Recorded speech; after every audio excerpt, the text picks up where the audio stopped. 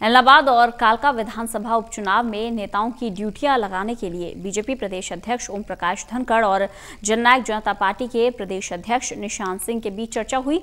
उम्मीदवारों का चयन को लेकर जननायक जनता पार्टी के प्रदेश अध्यक्ष निशांत सिंह ने कहा कि दोनों पार्टियों ने मिल बैठकर फैसला करना है और दोनों ही पार्टियों के फैसले के अनुसार ही दिग्विजय चौटाला आगे बढ़ेंगे। इस बारे में खास बात की है। हमारे संवाददाता अनिल कुमार ने जननायक जनता पार्टी के प्रदेश अध्यक्ष सरदार निशान सिंह से। किसानों की फ़सलों की खरीद आज से शुरू हो गई है। जननायक जनता पार्टी ने इसके लिए क्या इंतज़ाम किए हैं इस समय मेरे साथ हैं। जननायक जनता पार्टी के प्रदेश अध्यक्ष सरदार निशान सिंह इनसे जानते हैं किसान की फ़सल की जो प्रक्योर है वो बढ़िया तरीके से हो। किसान को कोई दिक्कत ना आए। उसकी देखरेख के लिए जहाँ सरकार ने इंतज़ाम किए, वहाँ हमने अपने संगठन के लेवल पे भी। हमारे जो कार्यकर्ता है, मेन मुख्य कार्यकर्ता, जैसे डिस्ट्रिक्ट प्रेसिडेंट, हल्का प्रधान वगैरह, उन सब की ड्यूटियाँ लगाई हैं कि वो जाकर के मंडियों के अंदर, परचेज सेंटरों के अंदर इस सारी बात को, उसकी देखरेख करें कि कहीं किसान को दिक्कत ना आए। निशांत सिंह जी, जो पार्टी इतना इंतज़ाम कर रही है, अपने कार्यकर्ताओं को मैदान में उतार रही है, और फिर भी जो किसान हैं, कृषि कानून का क्यों विरोध कर रहे हैं? देखिए, वो किसान की सोच है। मैं भी किसान हूँ और मैं भी उसका पक्षधर रहा हूँ, जो उनकी सोच है उसका।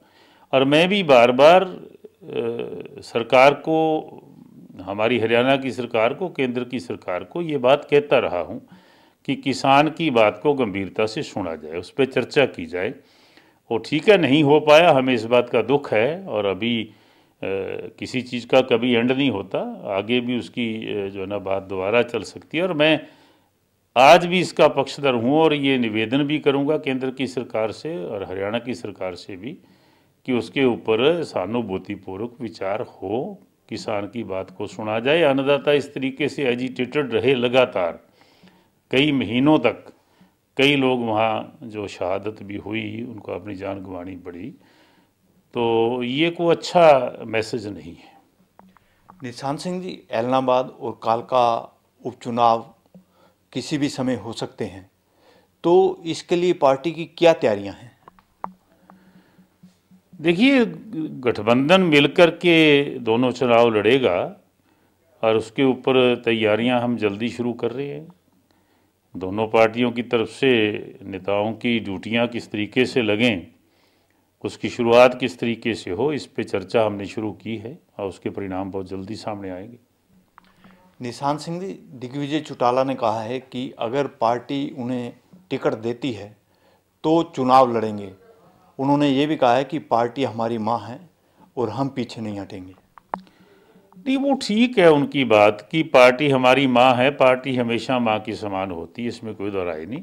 लेकिन निर्णय गठबंधन के नेताओं ने, दोनों पार्टियों के शीर्ष जो नेता है, उन्होंने करना है और बहुत सोच समझ के करना होता है और वो जो भी निर्णय करेंगे, उसके अनुसार ही दिग्विजय जी जो है ना आगे बढ़ेंगे।